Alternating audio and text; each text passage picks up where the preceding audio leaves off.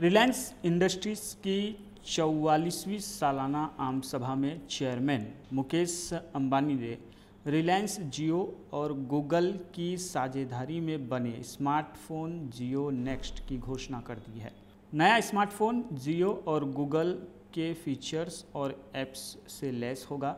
Android based इस smartphone का operating system Jio और गूगल ने मिलकर तैयार किया है।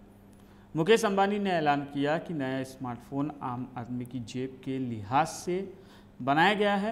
यह बेहद किफ़ायती होगा और 10 सितंबर यानी कि गणेश चतुर्थी से बिक्री शुरू होगी। अंबानी ने कहा कि देश को 2G मुक्त और 5G युक्त बनाना हमारा लक्ष्य है।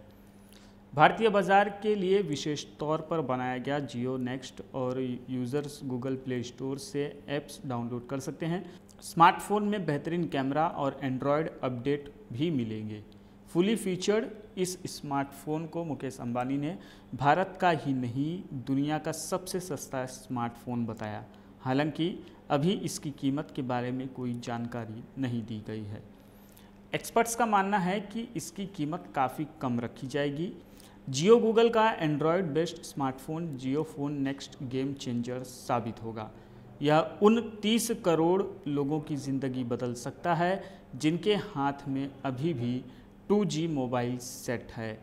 तेज़ स्पीड, बढ़िया ऑपरेटिंग सिस्टम और किफ़ायती दाम के दम पर जियो गूगल का नया स्मार्टफ़ोन रिलायंस जियो से करोड़ों ग्राहक को जोड़ सकता है।